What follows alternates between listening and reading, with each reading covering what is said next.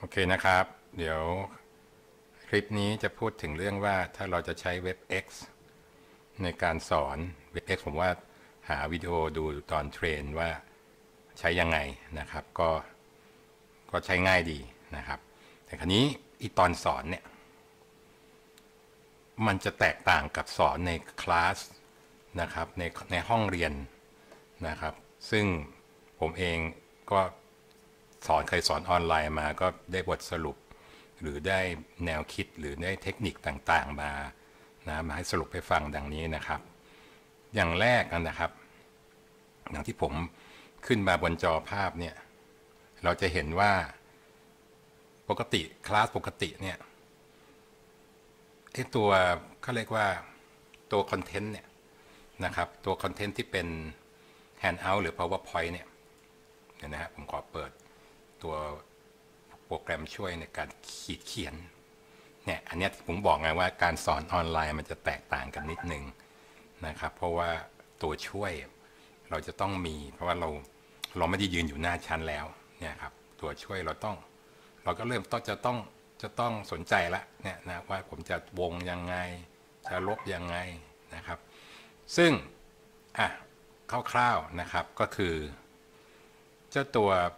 content handout ต่างๆ ถ้าเป็นห้องปกติเนี่ยนะครับ เราก็จะมีเขาเรียกโปรเจคเตอร์มี handout ยื่นให้นักศึกษานะครับ แต่พอมาเป็นออนไลน์เนี่ยเรายื่นเราก็อาจจะต้องทำ powerpoint ไฟล์ส่งไปก่อน หรือไม่ต้องทำหรือเขาเรียกว่าสอนสดเลยนะครับอย่างที่ผมทำเนี่ย powerpoint อยู่ที่ตัวผมเปิดที่หน้าจอผม แต่ว่าส่วนพวก handout อาจจะให้เด็กไปก็ได้นะฮะแต่ว่าสอนออนไลน์ส่วนใหญ่จะ handout ก็แล้วแต่นะครับอาจารย์จะเป็นยังไง แล้วสิ่งที่สำคัญคือยังไงสอนผ่านสกรีน ทั้งหมดนี้ผ่านสกรีนของเด็กอย่างเดียว เด็กจะไม่เห็นเงยหน้ามาดูแบบอาจารย์ยืนสอนอะไรไม่มี เพราะฉะนั้นเนี่ยสิ่งต่างๆที่ใช้ว่าเราจะแชร์แค่ powerpoint เหรอ ประเด็นสำคัญครับ จะแชร์แค่ powerpoint อย่างเดียวหรือ หรือจะเป็นแอปอื่น หน้าจออื่นครับ ผมเลยเขียนว่า which screen which app หรือมองแคม e r a ให้เด็กเขาเห็นมุมมองมุมจอต่างๆ ให้เห็นหลายแบบ ตรงนี้ผมผมเชื่อว่าตรงนี้เป็นตัวสำคัญมากนะครับ ถ้าเราจะสอนออนไลน์ conference เนี่ยหรือเอาอะไรก็แล้วแต่เราต้องมีอะไรที่เป็นสิ่งที่จูงใจ อันที่สอง annotation ถ้าผมพูดถึงเรื่องของห้องเรียนผมว่าในห้องเรียนเนี่ยพวกไวท์บอร์ดพวกอะไรนะฮะกระดานดำอะไรต่างๆเนี่ยผมว่าโอเค มีชอล์กมีอะไรอันเนี้ยเป็นสิ่งที่ดีในห้องเรียน แต่ถ้าบางอย่างถ้าเรามาทำในออนไลน์ ทุกอย่างผ่านสกรีนหมด หน้าจอเล็กๆเนี่ยครับสี่นิ้ว 15 นิ้วเนี่ยครับจะทำยังไงให้เด็กสามารถจะเห็นการขีดเขียนของเราได้ สิ่งที่จำเป็นถัดมาก็คือไอ้ตัวปากกาที่ผมจะโชว์ให้ดูเนี่ยถัดไปนะครับเนี่ยผมกำลังผมกำลังเขียน อันนี้ไม่ใช่เมาส์ผมไม่ได้ใช้เมาส์นะผมใช้ปากกาเนี่ยเขียนนะครับโดยปกติเลยเขียนเขียนเขียนออกมาจะเปลี่ยนสีก็ได้นะครับ จะเปลี่ยนเป็นสีฟ้าก็ได้ นะครับ จะเปลี่ยนเป็นสีฟ้าก็ได้นี่แล้วแต่นะครับ ซึ่งเราเรียก pen digitizing tablet หรือ drawing tablet นะครับ ซึ่งก็เดี๋ยวจะพูดต่อไป สิ่งสำคัญอีกสองอย่างที่ผมว่าสำคัญที่สุดคือเสียงครับ เสียงคนพูดต้องมีนัยสำคัญครับ ต้องมีความสำคัญเสียงชัดเจน ใส ไม่มีเสียงแทรกอย่างที่อาจจะมีเสียงแจ๊ดแจ๊ดแจ๊ดแจ๊ดพอดีบ้านผมกำลังทำหลังคาอยู่นะมีการเจาะนะครับ มีเสียงเข้ามานิดหน่อย แต่นี้ผมก็ใช้ไม้เนี่ยครับอย่างที่เห็นถ้าถ้าเราเห็นใน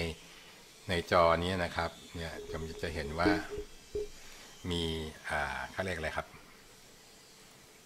มีเนี่ยมีไม้อยู่ตรงนี้เห็นไหมครับ มีไม้อยู่ตรงนี้ อันนี้เป็นไม้แบบเหมือนไม้ดีเจนะครับ เพราะผมรู้ผมต้องทำออนไลน์บ่อย ผมก็เลยต้องซื้อไม้พวกนี้ทิ้งไว้เลย แต่เดี๋ยวจะบอกอีกทีมันต้องมีอะไรประกอบ ไม่ใช่แค่นี้อย่างเดียวเนี่ยบนบนโต๊ะผมเอง ผมก็จะมีเนี่ยครับปากกาหรือที่ที่วาดนะครับ มันก็จะซิงโครไนซ์กับหน้าจอตัวนี้นะครับนะเมาส์ผมเองผมก็ไม่ใช้พื้นที่มันก็ใช้แทร็กเมาส์ตัวนี้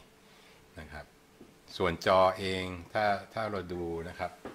จอผมจะมีเยอะมาก นะครับ จอโน้ตบุ๊กนี่ผมมีโน้ตบุ๊กตรงนี้นะครับ จอที่แสดงนำเสนอการนำเสนอนะครับ แล้วก็จอที่ตัวช่วยอีกทั้งทั้งหมดผมมีประมาณ 5 จอนะครับเผื่อเราจะวาง PDF ไว้ข้างบนโน้ตเวลาพูดนะครับ หรือต่างๆวางไว้ก็ไม่รู้นะอันนี้แล้วแต่แล้วแต่บุคคลนะครับ ถ้าผมเป็นคนบ้าจอก็ ก็มีแบบนั้นนะครับ ก็ นะก็เดี๋ยวกลับมาดูที่นี่ต่อนะครับเนี่ยพอเสร็จแล้วเสียงสำคัญครับ ถ้าเสียงไม่ใส เสียงไม่แจ่มอะนี่ก่อนไหมฮะเสียงไม่แจ่มมันจะยังไงล่ะครับเรื่องอย่างในห้องเรียนเนี่ยผู้สอนมีไมค์ตัวเดียว อันนี้อันนี้อันนี้ดี ไม่มีใครแย่งพูด แต่อย่าลืมครับพอไปออนไลน์บางทีเด็กเปิดไมค์เราต้องมีการ handle หรือ management เรื่องของไมโครโฟน ในการมิวมิวนะครับ ซึ่งตรงนี้ผมก็เชื่อว่าสำคัญ แป๊บเดียวก็ผมคิดว่า WebX มีการจัดการไมค์ที่ดีนะครับ สามารถจะมิวไมค์ได้ทั้งหมด แล้วก็เหลือแค่ผู้พูด หรือโฮเขาเรียกว่าโฮสนะครับ ส่วน Audience สำหรับผู้ฟังแล้วนะปกติในในห้องเรียนเราจะใช้อะไรนะ Eye Contact การมองนี่เรามองไม่ได้ แล้วบางทีเด็กปิดเว็บแคมเดี๋ยวยกเว้นเราจะสั่งให้เด็กเอาเปิดเว็บแคมฉันจะดูหน้าเธออันนี้ก็แล้วแต่นะครับ question and answer อันนี้เราทำประจำอยู่แล้ว หรือให้การทำ report หรือ class work นะครับสำหรับออนไลน์ face to face มันก็โอเคเห็นหน้าเห็นตาได้แต่ค่อนข้างยากครับบางทีเด็กก็ปิดแล้วก็เปิดเฉพาะอะไรนะภาพอวตารตัวเอง หรือไปเปลี่ยนมุมกล้องซะอะไรประมาณนี้ครับก็จะยาก แต่สิ่งที่สำคัญตรงทำออนไลน์นะครับ ตรงออนไลน์นี่สิ่งสำคัญที่สุดก็คือ Content Value ครับ เราจะทำคอนเทนต์ยังไงให้มันให้เด็กดูแล้วแบบรู้สึกกระตุ้นแล้วก็เออติดตามเราไปตลอดครับ มันจะไม่เหมือนห้องเรียนอันนี้ผม อันนี้แล้วแต่บุคคลนะผมจะเอาสูตรผมหรือสูตรไหน อาจารย์ต้องผู้สอนต้องรู้เองว่าเฮ้ยฉันจะต้องทำให้ value เขาเรียก value added ใน content ฉันเป็นยังไง Q&A ต้องมีอยู่แล้วครับ ถามตอบพอสอนไปสักห้าห้า ห้านาทีสิบนาทีก็เริ่มถามได้แล้วเพราะเดี๋ยวเด็กจะหลับหมดนะครับ ถามสุ่มถามเพราะเด็กรายชื่อเด็กจะขึ้นอยู่บนอยู่บนจอของ participant อยู่แล้วนะครับ class activity ต้องมีครับอะเดี๋ยวมาดูถัดไปนะครับ เดี๋ยวผมลบตัวนี้ก่อนอะดูถัดไปนะครับ สิ่งที่จำเป็น ผมบอกเลยเพนแท็บเล็ตจำเป็นเพราะอะไรครับอะเดี๋ยวมาดูกันเนี่ยครับเพนแท็บเล็ตจริงๆ มันมี ผมขอสลับไปพวกสิ่งสิ่งต่างๆ คือการไฮไลท์นะครับ การไฮไลท์ คือเราจะไฮไลท์ของเนี้ยเราจะไฮไลท์เส้นหรืออะไรกันแล้วแต่นี่ครับ ขีดหรือจะเป็นสมการนะครับ ก็เขียนไปเลย แต่เราก็ต้องคล่องเนี่ยนะเพราะว่าเราอย่างที่บอกครับ ถ้าดูตามจอเนี่ย ถ้าดูในจอภาพ มันก็จะไม่คือเขาเรียกอะไรครับ มันไม่ซิงกัน เนี่ยมันไม่ซิง หมายถึง ผมก็ต้องผมก้มดูกระดาษผมก้มดูกระดาษไม่ได้ไง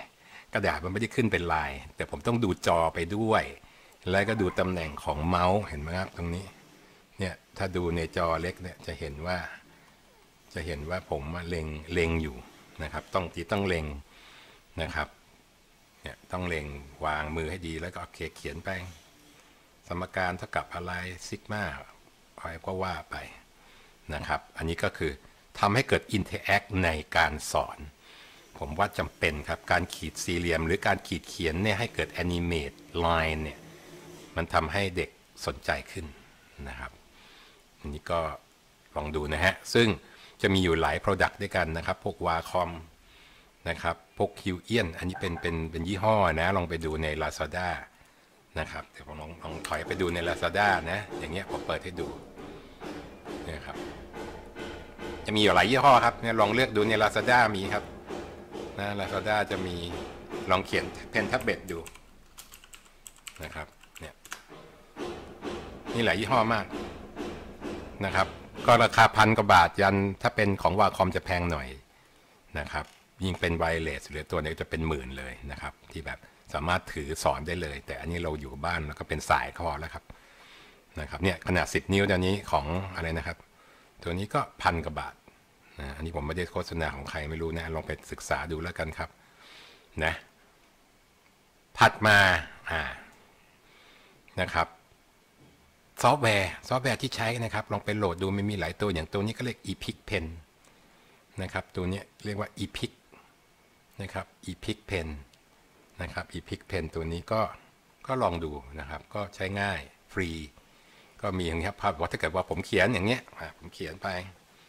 นะเนี่ยไฮไลท์ไปว่าไปเรื่อยๆ ผมก็สั่งปิด มันก็ไม่ขึ้นละอะพอผมเปิดอีกก็เปิดปิดหน้าหนึ่งนะครับสมมติเปิดไปสไลด์หน้าหนึ่งเนี้ยเปิดมันก็ตัวเดิมนะครับ หรือว่าจะล้างใหม่ก็ลบทิ้งไปเลยนะครับ ซึ่งตรงนี้ก็ผมว่าโอเคนะ ดูแล้วมันก็โอเค และอีกอันหนึ่งที่ผมโชว์อยู่เมื่อกี้เนี่ยนะครับสั้นๆนะ ก็คือเปลี่ยนเปลี่ยนมุมกล้องครับเนี่ยผมเปลี่ยนมุมกล้องได้เนี่ยผมเปลี่ยนมุมกล้องมุมมุมนี้ มุมกล้องนี้ผมมีหลายกล้องครับ ประเด็นสำคัญเนี่ยหลายกล้องนี่ผมมีถึงสามกล้อง เห็นไหมครับอันนี้กล้องติดไม้ไม้มันติดเห็นไหมไม้มันติดอยู่เห็นไหมครับ ก็ไม่รู้นะถ้าคือทำให้อย่างน้อย เพราะบางทีเราต้องโชว์สเปซิเมนนึกออกไหมครับ เราต้องโชว์ของอะเนี่ยโชว์ของบน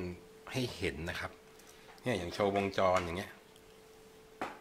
มันก็ต้องมีหลายกล้องบางกล้องแล้วก็ต้องหันกดลงแบบบนโต๊ะถูกไหมครับเพื่อที่จับ เพราะฉะนั้นผมว่าการใช้เว็บแคมธรรมดาไม่ต้องไปซื้อกล้องเลือดหรูครับ กล้องเขาเรียกเป็น HD cam แล้วก็แล้วก็เนี่ยเพื่อจะได้มีหลายมุมกล้องครับเนี่ยและตัวโปรโปรแกรมที่สลับมุมกล้องก็คือ Many Cam ครับเนี่ย Many Cam ถ้าเราจะเห็นในนี้นะ นะครับเนี่ยสลับมุมกล้องนะตอนนี้เป็นกล้องนี้อยู่ถูกไหมฮะตอนนี้เป็นอันนี้อยู่ นี่ตอนนี้เป็นอันนี้ อันนี้ผมสลับมาละเนี่ยโปรแกรมที่เราเห็นอยู่นี่ครับเป็นเมนิคัมผมสลับมุมกล้องได้เปลี่ยนมุมกล้องเนี่ยผมเปลี่ยนเป็นมุมนี้ มันก็จะเห็นอย่างนี้ เห็นมุมนี้ก็เปลี่ยนอย่างนี้ มุมนี้ก็เปลี่ยนอย่างนี้ เห็นไหมครับ แล้วแต่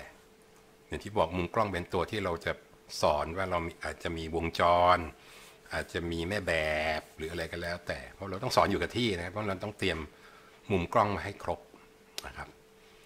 อันนี้ก็อยากบอกเรื่องนี้สำคัญมากนะสำหรับผมนะอันนี้สำหรับที่ประสบการณ์ที่ผมสอนมา ผมว่า การมีกล้องเยอะการมีเขาเรียกหลายมุมทำให้เด็ก เอ้ย มีเห็นชัดเจน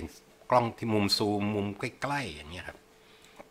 อะถัดไปคือเรื่องไม้ผมถือว่าเป็นเรื่องสำคัญนะไมค์ที่ผมใช้นะผมก็จะใช้ เนี่ยครับอย่างที่เห็นตัวนี้ ตัวนี้จะเป็นไมค์แบบเขาเรียกคอนเดนเซอร์ไมค์หรือ phantom นะคือใช้ไฟ